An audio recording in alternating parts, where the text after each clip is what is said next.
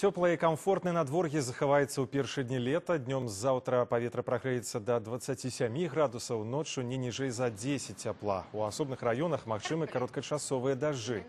А вось з сярэдзіны тыдня ападкаў стане крыху больш будет будзе халадней, і дзённая тэмпература панізіцца на 2-4 градусы. Паводле прагнозаў надвор'е ў чэрвені будзе адпавядаць кліматычнай норме. Сярэднесутачная тэмпература паветра складзе 15-17 градусаў цяпла.